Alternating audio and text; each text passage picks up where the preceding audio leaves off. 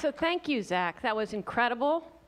You show us again that artists are always out there at the front, front lines of social change and that we always have to think about how we can bring creativity and fun into the work that we do. Um, how many people do you have that are part of the Open Frames community now, do you think? You know, it's, re- it's really qu- quite large. It, we have a core development community, which is probably about two dozen people that are very active and that I would guess are using the, this software on a day-to-day basis. But there are there, there's thousands of people that are using it. And, and it's not just, I mean, Open Frameworks is one, you know, it's the project that we're invested in, but there are a bunch of these creative, it's kind of a misnomer. They're called creative coding. But I, I actually think all coding and all developing of software is creative, but that, that's what, I mean, that's the term that people use is creative coding. And there are these creative coding toolkits and communities, and there are, there are a bunch of them. And, you know, so something like processing or VVVV or, you know, and th- these are all different approaches, different languages, different, you know, philosophies, but at the core, they're about the culture of sharing and working together and building together. That's great. Um, and Zach's actually invited a couple of his collaborators for his workshop. So Jer and I think three collaborators, one of your Yeah. students and two collaborators will be in that session. So you should think about that when you decide which ones you want to go to. So um, I'm going to ask some question, or uh, I'm going to uh, look for some questions and pass the mic around because we've got a little bit of time before we go to lunch. Who would like to ask Zach the first question? Bring it on. All right, well, then I'll ask Zach the first question. So um, uh, you had a lot to show there. Um, at the end, though, you showed a couple pictures of the fact that this EyeWriter project is now a class at Parsons. And from another presentation I saw you do earlier this year, um, this has now jumped to Japan as well. There are other classes where people are, are, are iterating this. Yeah. I mean, it- so what, what's exciting, w- ah, what's really exciting about the culture of sharing, where you put out projects, whether it's open hardware, or open source software, when you're sharing the methodology and the practice of what you're making, is just to see where people take it, and people take it in really extremely strange directions, you know, and that. That, that's ex- the exciting part of, of it. So, you know, I think in the la- in, at Eyeo, I showed this pres- presentation of what people in Japan have been doing with it, which is way out there. So what are they doing? Um, they had um, they because the EyeWriter system is very cheap. It's an eye tracking system. It's very cheap to build. They built eight of them, and they did one projection screen, and they showed where eight people were looking at the same time. And it's this kind of experiments of if we show a picture of like a beautiful picture of a you know a tree or a waterfall, you know where do people look? And it's, it's almost like a kind of group psychology experiment that you could do on a shoestring budget because this is a $50 device and not $15,000. That's great. Okay. Don't be afraid of Zach. Here we go. Uh, yeah, hi, my name's Kyle Reese. I work here at the Ford Foundation. I'm just curious if someone uh, says, wow, that is really amazing, all the things I saw, and I want to do that. What kind of skills uh, would you encourage them to, to get? You know, computing, artistic, or com- combination besides the open source element? I mean, I think that the um, a lot of times these projects just start with a with a with a spark or an idea of wanting to see something that you've never seen before. On the technical side, you know, I the stuff that I showed here, a lot of it is about you know so- software and some of it is hardware, and so there are, I mean. The, open frameworks, but also these other toolkits that I mentioned, these are entry points. You know, they're all you know di- different, but they're entry points for people that want to work in an artistic way with computation, that want to make software which is, you know, for creating these custom experiences. So, um, and there are there are places I mentioned Eyebeam in New York, which has workshops all the time. There's also NYC Resistor. There are places around the country, around the world, which are, you know, they could they might be called hack labs or, um, you know, media art centers. But there are places where you can go to, you know, to learn more about the community and, and get involved. And more than anything, this the, this idea of DIWO, do it with others, like that's the most we we look, we want to hang out, we want to make stuff, and you know, we make it make it together. Hi, my name is Keishan Chan, and I work with the Open Technology Institute with the New America Foundation. And I'm curious about the open source platform because we're also working on open source and developing code for wireless mesh networks. Mm-hmm. And you know, you have this $15,000 device that you've been hacking. Have you ha- like heard of the company, like hearing about your project or having any resistance from private companies to what you're doing? No, on the contrary. I mean, they, they were really excited about it when they found because they didn't they had had had no drawing tools and they didn't have you know they're they're it's a communication device so you can use it with you use your eye movement to you know to write to write text, but you know Tem- Tempt couldn't you he couldn't load a software like Illustrator or Photoshop and use it to you know do the work that he was doing. So this was a kind of it was great. It was eye opening for them, and they were actually you know pretty pretty helpful. You know we had to do we had to hack it a bit and. And um, we got to talk to some of their developers after the after the videos went up, and people recognized the device, then we, the company got in touch with us. And we thought they would like, you know, be freaked out and have their hair on fire, but they turned out to be very friendly. And I, I think it's a, also a process of education with companies, which is to try to convince them to be more receptive to open standards, open source, to support open source, to let their developers, you know, put do take the work that they're doing and publish it to support open data you know and and it's a it's a um, i think we we're all need to be on the front lines of educating companies about that So, um, hi, Zach. This is uh, Mac, George McCarthy from the Ford Foundation. Yeah. So, um, I don't want this to sound openly kind of critical, but um, one of the things, but I will. So, um, you know, one of the things that, that always happens to me when I come to these things where we, we look at all this kind of really cool tech stuff is I'm always dazzled by the coolness, right? But I'm someone that's driven by, um, you know, adherence to strategy to move social change. And so I, I just want you to build a bridge for me between the cool stuff and what actually changes in the world that we Yeah. can actually care about. Yeah, I mean, I think that for me, it is. Um, I, I want to create these situations for for wonder, these situa- situations and opportunities for wonder. Um, and I had this moment. You know, sometimes you're not sure of what you're doing, if it's reaching people, and you know, obviously you can see people in, interacting with it, you get a feeling for it. But had this moment at a show. We did a show that opened in Tokyo, which is an exhibition for children. And on the opening day, it was just slammed, and there were hundreds of kids that were coming in and, and families and, and so on. And towards the end of the day, this grandmother grabbed me, grabbed my hand, and in this very broken English said, You are giving the children good dreams. And, and that's what, if I had to say like what my strategy for social change or what I think my, the work that I'm doing where I would position it in relationship to changing society is that, is creating things that are, you know, giving children dreams that they'll see this work and then they'll be the, you know, the, the next generation that is, you know, it will help, help them, you know, think of extremely weird stuff for the next generation.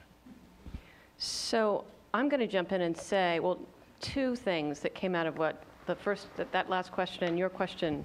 One of the main reasons I think it's really important to have program staff here is because I think we have to be the bridge.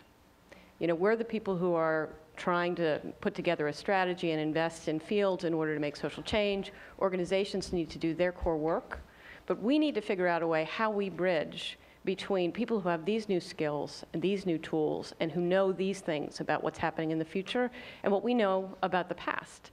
And so I'm really hoping that the workshops are going to really pull forward these kind of pragmatic questions.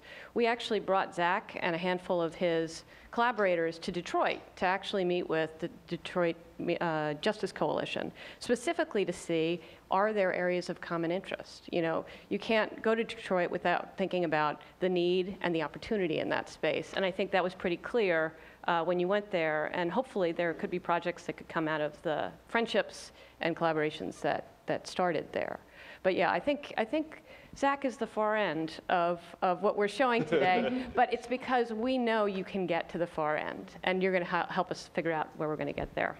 Um, one thing you might tell them also in relation to the wireless mesh network is what, what are you doing uh, later this summer. Oh yeah, I, would, I wanted to talk to you about the wireless mesh, which is weird. Um, I'm uh, we're working on a project right now for the Olympics, and the uh, Olympics, which is happening in London, part of the 2012 Olympics. They are also sponsoring art projects, and so there's a section of the Olympics called the Cultural Olympiad, which is the idea that the Olympics traditionally has always been about sports, culture, and education. Now it's you know primarily about sports, but they also want to focus on culture and, and education. And so they're funding large-scale art projects around the country, and we've been commissioned to create one on Hadrian's Wall, which is this wall that goes across England, which is the border of the Roman Empire. And we are going to set up hundreds of weather balloons that span, basically span the country, that go across this wall. It's the second largest wall in the world. And these balloons will be talking to each other and communicating messages along the wall, and the audience will be invited to submit messages. And the idea is to imagine the wall not as a border, but as a form of connection. So my head is really deep in, in mesh networking right now, wireless mesh networking. Um, Uh, It's Ken Snyder with Place Matters, and um, I just uh, extremely excited to see the stuff that you've done with uh, do-it-yourself technology. And I think going to Mac's question and, and uh, some of the responses that we found, um, you know, it's just um, we we've been doing uh, we're doing a hackathon with uh, in partnership with EPA next month. Um, and we're providing sort of a platform for people to develop tools around sustainable communities um, for um, at the metropolitan scale. And what has just been, uh, I didn't know how well it would it would be received, um, but it's it's it's um, wonderful when we see like. Um, you know, dozens of, of coders and programmers who are really interested in applying their skills to um, a problem set um, and having um, experts say, "This is the these are the challenges we have. Do you have a solution?" Um, so I think it is um, a great partnership that you're talking about here. Is, is to is to have organizations providing you know, some of the some of the things that they run up against all the time, and then having you know these highly skilled coders and artists um, providing solutions that that uh, that people will use. Yeah, that's a really good point. It's something that we've been thinking a lot about in terms of the breakout session, which is what are the what are the overlaps? What are the ways that we can collaborate and work together? And hackathons are a great one where you create the the environment for people to come together and work on short-term projects, and it might be a weekend, you know, where you you provide the you know, the internet connection and the pizza and the Red Bull and whatever people need to get work done. Um, but actually, but it's also about getting getting people together. And typically, you know, in, in our world, these ha- hackathons are sponsored by companies and startups, and they want you to use their API, and they want, you know, there's like there's ulter- ulterior motives, or I mean, everybody has a motive to create create an event and bring people together.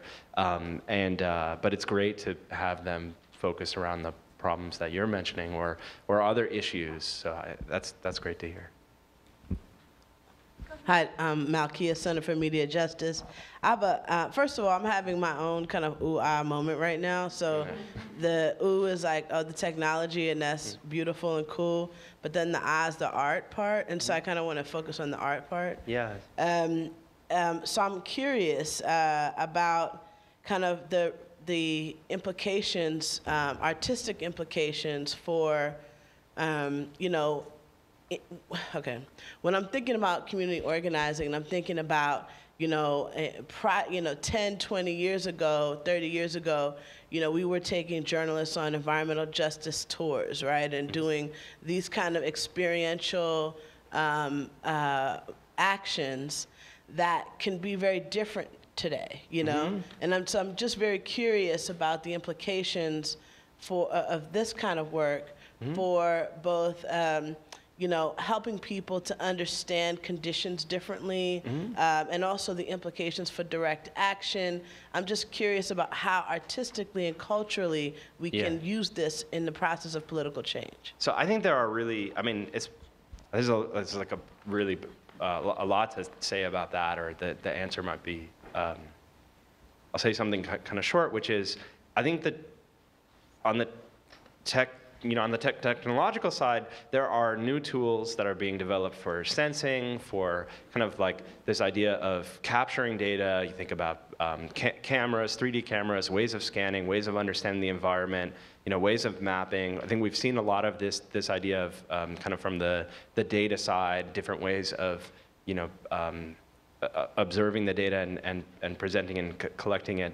And from the fr- from those things on the artistic side come the potential to use them in really strange, provocative ways, right? And that's what, when I said the idea behind demo and poem, is I think the really important part, which is, okay, you can take these technologies and you can demo them. You can create something which is flashy, and the companies that make these technologies will look at it and say, wow, that is showing our product off. Or you can make a poem which is more, uh, you know, it's more enigmatic. It's more, it's not totally clear. It's not, you know, it's, it, I think there's something really important there. And as artists, we need to be, you know, not swayed to the side of the demo, but really kind of pulled to the, pu- pulled to the poem, pulled towards, you know, making things which are about you know, not about the technology, but about human condition, you know, what it means to be human, what it means to be living in this environment, you know, and, and about human expression. So, um, but yeah, let's talk later. I have some, I mean, there's a lot of stuff. And I, I also think there's sensing, there's also output and things like projection, projection technologies that are really changing the game in terms of what we can, you know, if we have messages and we need to get our messages out in public space, you know, how can we do that? And, you know, obviously a lot of the work I showed you today involved projection on buildings and, you know, we don't, we're not getting permits, we're not, you know, we're not asking for permission, but we're just trying to find the walls that have the eyeballs and, you know. I just want to congratulate, oh, sorry, we, Dula? Um, This is such a phenomenal way to end the first half of today, because your projects, your work sort of lead to the physical embodiment of people inside of information and information driven from people's experience. And too often, I think we think about information visualization like network schematics that are just mind maps, right? Uh, And those are cool, but that relationship also to graffiti, which is a form of information viz that is very organic and directly tied into things that are happening in our society, is just phenomenal. Um, so I just congratulations. My wife uh, helps to run an art center for adults with disabilities in the Bay Area, and the possibilities creatively for just the eye writer are, are stunning. So just kudos to you and kudos to Jenny for getting you here because this is exactly the kind of arc that we need to have in thinking as, as change agents and as those who are trying to do accountability work and social justice work to how do you infuse it with the kind of magic that actually gets people motivated. Thank, thanks. Awesome. I had, oh, And I think we have one last question, and, uh, and, and here it is. is it me? Yes. Last question? Yes, it is. I was trying to The find you. invisible voice. So I have, um, so just, just quickly, um, one question I have uh, builds off of Malkia's question from the last session, kind of like a chicken and egg thing. When these art projects come about, how are they initiated? Is it, is it, um, is there an issue or a need or a group that then says to your group, we need something to address this, or are you kind of like doing things creatively, and then maybe a program officer says, hey, you know, this group over here could use that. That was one piece of it. And then the second and last one was that um, at Moms Rising, our platform is a way to bring, a, bring together moms, parents, virtually. You know, there's, there's no central place. And do you have any experience with projects that are, are these kind of virtual pieces where people are collaborating um, in spaces where they are Yeah. not physically together? Yeah, yeah. Okay, so in answer to your first question, you know, the projects are, the way they come about are extremely varied, and they sometimes will call, come about because there's really an interested party, like the EyeWriter project came about because there was a couple in LA that was involved in a fundraiser for Tempt, and, and then met us at a conference and said, okay, let's put all these people together, you know, and then that, that was their, their vision was to put everybody in the same room. Not even, they didn't know what was going to happen, but they thought, you know what, that will, will be interesting. Um, sometimes they come about from like a really for, formal way where there's a request, like this Olympics project was a request for qualifications and a request for a proposal, and it's really like, this is a, you know, proposal process. I think everybody in here is familiar with that. Um, pa- painfully familiar with that. And then sometimes it's really se- serendipitous. Like you make, you'll make a sketch. When I showed that, you know, Vimeo or Flickr or YouTube, this, you know, the things that, that I check daily to see what people in the community are doing, a lot of it, they're just sketches. They're just like what, you know, hey, this is what I made, you know, yesterday ki- kind of things. And what will happen is that people will see those things and say, you know, that, that's really interesting. Would you like to explore that further, you know, as part of my festival or, or so on? So, you know, sometimes it's serendipitous, sometimes it's through a real, you know, a rigid process, and sometimes it's really kind of outside third, third-party people bringing it together. Um, as far as your second question, the, um, the, the open frameworks com- community exists really virtually, and, and um, you know, we are around the world, the developers are around the world, we're not in the same place, and we are using all sorts of tools to try to figure out, you know, ways to make that work. And so we have, you know, just, we have for, discussion forums, and we have a sort of online chat, like an IRC, where we chat with each other. We, ha- we use Skype, we use a bunch of different kind of techniques and technologies to make it work, but more than anything, getting together is crucial. Like actually getting the people together at some point, and it might be once a year, or it might be I might see some people in the community every two years or something like that. It's just like a, it's it's pretty fundamental, and I don't think we would be able to do what we're doing without those moments. And I know those I know those projects do work, and those collaborations do work. Um, and you know, I thank God for things like Skype, where where we can really, you know, we are talking to each other face to face, but there is something, there's a magic of coming together and being physically together that is kind of, kind of har- hard to, hard to beat. That's great. Well, um, I'd like to ask you to give another round of applause for the amazing Zach Lieberman.